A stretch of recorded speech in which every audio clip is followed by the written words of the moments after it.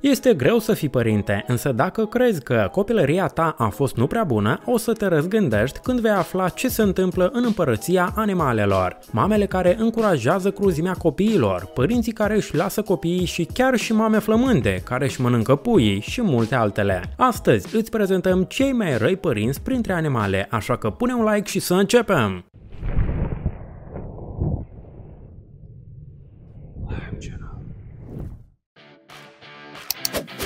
Bun venit pe canalul Despre Tot! Cele mai incredibile întâmplări din trecut, din prezent și chiar din viitor, care au fost surprinse de camerele video. Linkul este în descriere. Gândacul gropar sunt insecte mici care au un instinct matern puternic. După cum înțelegeți, aceste insecte îngroapă cadavrele mici a vertebratelor gen șoareci sau păsări ca să hrănească larvele. Când larvele ies din căsuța sa, mama lor le vomită carnea digerată, doar că există o problemă. Deseori carnea nu ajunge pentru toți. Când sunt flămânde, larvele gândacului gropar satură părinții atingându-le gura cu tentaculele lor mici. Doar că trebuie să țină minte o regulă. Dacă o vei obosi pe mama, atunci vei plăti un preț mare. Gândacii gropari uneori pedepsesc puii mâncându-i pe cei care îi irita. După cum au aflat cercetătorii din Universitatea Edinburgh, un astfel de comportament agresiv le învață pe larve să fie cinstite și să ceară mâncare dacă într-adevăr sunt flămânde și nu când doresc să primească mai multă hrană decât alții. Amenințarea de a fi transformat în cină la fel îi permite mamei să dețină control asupra modului de a hrăni copiii. Ca și alte animale animale, gândacii gropari iubesc copiii mai mari, deoarece au mai multe șanse să crească, să se dezvolte și să se înmulțească. De aceea, dacă sunteți un gândac mic și vreți să trăiți, nu o iritați pe mama dacă nu sunteți flămând. Crab roșu de pământ. În fiecare an, din octombrie până în decembrie, 50 de milioane de crabi roșii emigrează din junglă pe malul coastei insulei Crăciunului ca să depună ouă. Asta arată uimitor. Femelele acestor crabi depun 100 de mii de ouă fiecare. Ele o pot face o dată pe lună și într-o fază specială a lunii. Puii au o situație specifică de naștere. Astfel poți crede că puii vor fi sfinți, dar nu e chiar așa. Puii eclozați se îndreaptă spre mare pentru prima lună a vieții și dacă vor avea noroc, curentul îi va aduce înapoi pe insula. Însă dacă femelele cravilor vor decide să emigreze mai târziu, la mare, peste o lună se va întâmpla ceva ciudat. Femelele însărcinate ies pe coastă odată cu venirea puilor care s-au născut luna trecută și totul arată ca un covor roșu ce iese din apă. Credeți că viitoarele mame se vor opri și vor ajuta puii să ajungă acasă? Dar ele nu fac asta. Mama crab mănâncă pui de parcă ar fi popcorn. Cel mai rău e că pot mânca și puii proprii proprii dacă sunt flămânde. Cercetările din anul 2007 au demonstrat că nu există nicio diferență între crabi care nu au depus ouă și cei care recent au depus ouă. Ei oricum mănâncă pui. Da, lumea crabelor e destul de dură. Vulturul Ictinateus malaiensis sau mâncătorul de ouă Orice mamă care are mai mult de un copil știe cât de obositor când copiii mereu se ceartă. Mai bine e să le permiți uneori să rezolve totul de sine stătător. Totuși, mamele știu când trebuie să intervină și să-i oprească. Nu și vulturii mâncători de ouă. Aceste păsări prădătoare frumoase care zboară deasupra pădurilor în regiunile deluroase din Asia de Sud-Est și China preferă pur și simplu să rămână în umbră. Dacă se începe o ceartă dintre doi pui, mama pur și simplu stă și urmărește, de parcă că primește plăcere de la această ceartă. De regulă, o astfel de bătaie se termină doar atunci când puiul mai puternic îl ucide pe cel slab. S-ar părea că mama ar trebui minim să-și certe o drasla, pentru că și-a omorât fratele sau sora, dar ea nu o face. Deseori, mama și puiul care a rămas în viață pur și simplu mănâncă rămășițele puiului mort, astfel sărbătorind victoria. Înțelegem cât e de corect să le predai copiilor lecții de viață, însă se poate cumva mai moale să explici că supraviețuiește cel cel mai puternic. Varan uriaș. Ajung la 3 metri în lungime și cântăresc mai mult de 130 de kilograme. Sunt cele mai grele șopârle. Când femela e gata de reproducere, emite un fel de excremente ca un mero specific pentru mascul. Când masculul o găsește, o linge pe spate și o mângâie. Dacă linge și ea, atunci e combo. Ea depune circa 30 de ouă. Ele sunt băgate în pământ și se nasc peste 8 luni. Clocind ouăle în cuib, femela poate sta pe ele ca să le păzească, însă nu există există vreo dovadă care ar demonstra că ea are grijă de ei. Acești pui sunt foarte vulnerabili în primele zile ale vieții. După naștere, ei deseori se cațără pe copac pentru a se proteja, reușesc doar cei mai puternici, iar cei mai slabi devin jertfele prădătorilor, inclusiv varanelor maturi. Asta din cauza că varanii au cromozom masculin, dar și feminin. Femelele se pot reproduce asexuat, dar dezavantajul său e faptul că femeia naște doar masculi. Mai mult ca atât, varanii nu prea iubesc să se reproducă printr-un astfel de mod. De aceea, dacă pe alături nu este vreun mascul, mama care e gata de reproducere începe procesul cu fiii săi. La sigur au traume pe toată viața. Furnici Dracula Însuși cuvântul Dracula dă de înțeles că nu va fi nicio dragoste între mamă și pui, însă la sigur nu cunoașteți cât de greu le este puilor. Aceste insecte au cele mai rapide fălci dintre toate, însă în același timp nu pot mesteca mâncare tare, de aceea furnicile lucrătoare au o altă sursă de hrană, propriile larve. Pentru a se sătura, ele adună cele mai grase larve, le rup și le beau sângele, pe care după îl donează reginei. Acest comportament sângeros se numește hrănirea larvei larvei. Sună înfricoșător și neplăcut, dar cât de ciudat nu ar fi, asta ar putea fi și mai rău. Un astfel de canibalism între furnici se consideră sigură, ceea ce înseamnă că chiar dacă le este sub sângele, ele supraviețuiesc și cresc. Unii copii spun că au cicatrici emoționale de la părinți, însă cicatricile pe care le primesc furnicile Dracula rămân cu ele toată viața. Caii Caii femele sau iepele duc sarcina 340 de zile și orice femeie care a fost însărcinată știe că asta e teribil. Se pare că iapa trebuie să se liniștească în perioada de sarcină, doar că ea petrece timpul cu totul altfel. Imediat ce rămâne însărcinată, începe să se distreze cu fiecare armăsar existent. Noi știm că din punct de vedere a evoluției asta nu are niciun sens, ea deja e însărcinată, doar că nu pur și simplu se distrează, ea are un motiv ascuns și bine gândit. Problema Problema e că armăsarii sunt foarte mândri, ei urăsc concurența și dacă ei întâlnesc un pui străin, atunci îl bat până la moarte. Însă ei nu omoară proprii copii, totuși nu sunt monștri. De aceea, iapa însărcinată se împerechează cu toți armăsarii ca ei să nu poată să înțeleagă dacă e al lor puiul sau nu. Mamele viclene mai au și un plan de rezervă în cazul în care nu vor putea cuceri toți armăsarii. Ele singure vor întrerupe sarcina. Oamenii de știință nu cunosc exact cum asta se întâmplă posibil e un rezultat a unui proces chimic care se întâmplă când iapa simte că copilul se află în pericol. Gândiți-vă la asta dacă veți trece pe lângă caii care pasc pe deal. Sigilii Puii de sigilii sunt foarte drăguți. Din fericire, mama lor îi iubește, însă doar pentru 12 zile. În această perioadă, ea îi hrănește în continuu și nu întrerup procesul pentru a mânca de sine stătător. Puii de sigilii se nasc fără grăsime, iar laptele mamei conține 50% de grăsime și zilnic ei adaugă câte 2 kg în greutate. Însă, împreună cu această perioadă de alaptare, se termină și dragostea. Peste 12 zile, femeia flămândă și fără puteri decide că trebuie trebuie să plece, astfel lasă puiul în voia sorții. În comparație cu alte specii, pui de sigilii sunt pregătiți la astfel de schimbări majore, de aceea rămân pe gheață timp de o lună și jumătate, fără siguranță și hrană. În această perioadă, puiul pierde jumătate din greutate, neavând resurse de a-l suplini. Când ajung la 8 săptămâni, deja pot înnota și sunt gata să dobândească hrană de sine stătător. Însă, până atunci trebuie să treacă de perioada periculoasă de foame, să nu se se nece și să scape de prădători. Luând în considerare toate acestea, nu e de mirare că 30% din pui mor în primul an al vieții, iar părinților nu le pasă.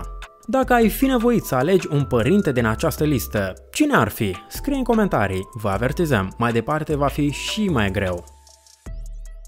Cucul sunt cunoscute drept cele mai rele mame printre păsări și animale. Aceste păsări pur și simplu nu se pot isprăvi cu greutățile legate de maternitate și de aceea lasă copiii încă până la naștere. Când femeia e gata să depună ouăle, ea intră în cuibul păsărilor mai mici după dimensiune. Până când acolo nimeni nu-i, ea înghite unul din ouă și depune oul propriu în loc de cel furat. Asta se numește cuibărit parazitar, o tactică vicleană. Când lasă bagă oul său în alt cuib, femeia lasă responsabilitatea de a avea grijă de puiul său pe altă pasăre. Astfel, nu mai are careva probleme legate de maternitate. După trăiește ca o femeie independentă și singură, însă un astfel de pui lăsat la sigur nu e dorit. De regulă, el iese din ou mai rapid și crește mai repede decât alte păsări în cuib. La fel aruncă alți pui din cuib și ei des mor. Se întâmplă și cazuri când păsările protejează și atacă femeia la cuc sau în general împing toate ouăle din cuibul ei jos. Totuși, cel mai des femelele scapă de pedeapsă pentru că sunt observate prea târziu și jertfele lor sunt nevoite să hrănească puiul mare. Totuși, natura e dură.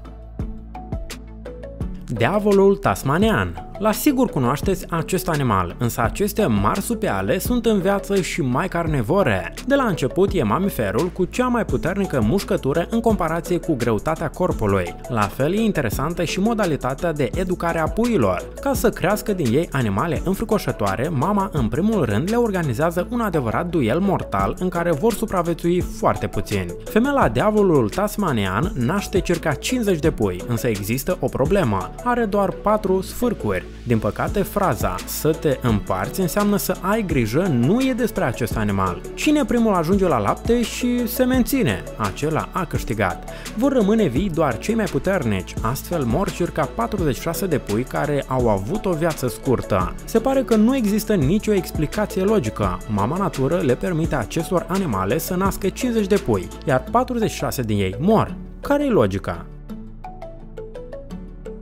Koala. Scuze, dar acum vom distruge părerea ta despre faptul că koala e un animal mega drăguț. Koala nou născută sau joie seamănă cu o marmeladă roz. Nu are păr, nu vede, nu are gât și lungimea sa e de doar 2 cm.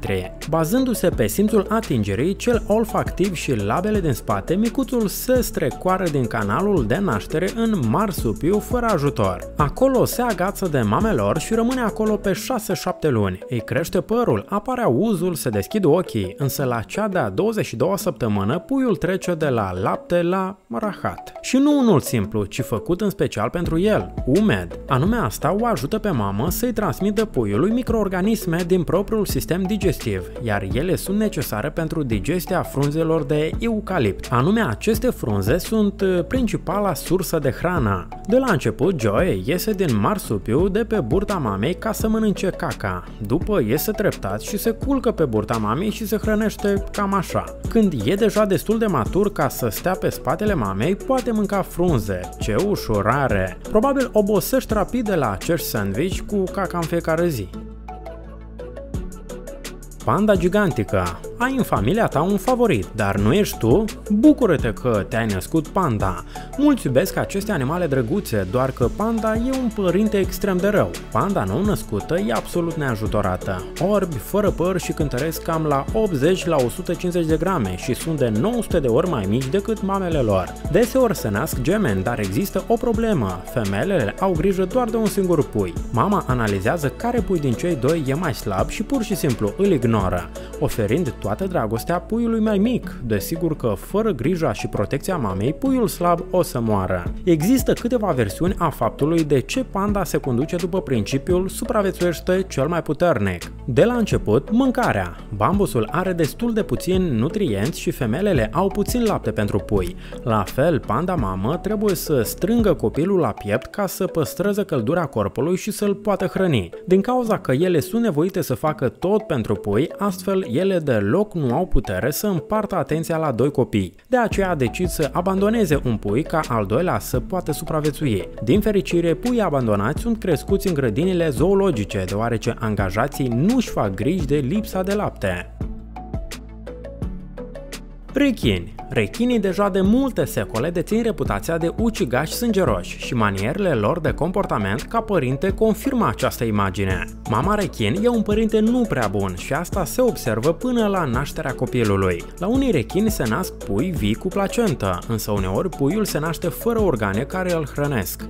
Acum se pune întrebarea, cum atunci se hrănește? Mănâncă frații și surorile sale. Rechinii își încep viața trezindu-se într-un spațiu mic și întunecat. Alături sunt frați și surori care arată la fel, însă nici nu intuiesc că uterul va deveni la scurt timp o arenă pentru Hunger Games. În două utere pot fi până la 20 de ouă. Din fiecare vor ieși pui și vor trăi în mama lor. Asta până când vor crește dinți ascuțiți și li se va face foame. Din 20 de pui, în fiecare uter va rămâne doar unul și el va ieși la suprafață. Probabil de asta toți rechinii sunt atât de agresivi. Pur și simplu e o traumă. E greu de imaginat cum se simte mama când în interiorul său copiii se mănâncă unul pe celălalt. La sigur nu e plăcut. Desigur, mama rechin nu fumează și nu bea în timpul sarcinei, însă la sigur merită un punct pentru luptele în uter. Hamster. Dacă ați crezut că acești rozători sunt drăguți și pufoși, mai gândiți-vă odată. Să privești femeia hamster care are grijă de puii de culoare roz e interesant, dar să nu vă mirați dacă într-o zi veți observa că câțiva sau toți puii au dispărut. Ei sunt în burta mamei. Iată unde au dispărut și nu, nu e din nou însărcinată. Ea îi mănâncă. E oribil, însă hamsterii sunt cunoscuți prin faptul că mănâncă des puii. Există versiuni diferite care explică de ce ar face-o. Unii consideră că mamele sunt prea epuizate după naștere și au nevoie de nutrienți. Posibil ele mănâncă puii ca să nu aibă grijă de atâția copii. Ele pot naște până la 20 de copii odată. Dacă o femeie care recent a născut e stresată și consideră că și educarea copiilor deja e too much, ea poate pur și simplu să mănânce. Ciudat, dar cine știe ce se întâmplă în capul său? Dacă aveți un hamster femelă și e însărcinată, încearcă să creezi un mediu favorabil. Ea trebuie să primească îndeajuns hrană ca să nu-i apară gânduri de a transforma puii în cină. Furnicile de foc Furnicile Dracula au o copilărie foarte dură, însă și mai complicat e la furnicile de foc. Ele vor avea noroc dacă în general vor supraviețui. În special, asta ține de masculi. Sexul e o temă destul de sensibilă la furnici. Femelele fac toată treaba murdară. Vânează, dobândesc hrană și au grijă de copii. Iar masculii mănâncă, se reproduc, ne aduce de cineva aminte, nu? Femelele rabdă masculii doar din cauza că fără ei nu se pot reproduce. Dar asta provoacă o problemă. Când sunt prea mulți masculi, pe ei se cheltuie resurse valoroase și femelele încep a omorâ masculii pe care îi întâlnesc în cale. Oh, și să vezi cum! Femelele furnicilor de foc deseori se ocupă de distrugerea sistematică a tuturor masculilor în stadiul larvar. Dar aici apare o contradicție, deoarece furnicile vor muri dacă nu va fi niciun mascul. Ca să menține echilibrul, regina inundă colonia cu ouă de masculi și atunci femelele se transformă în ucigași, însă într-un final obosesc și unii masculi rămân în viață. Feministele radicale printre furnici au ajuns prea departe.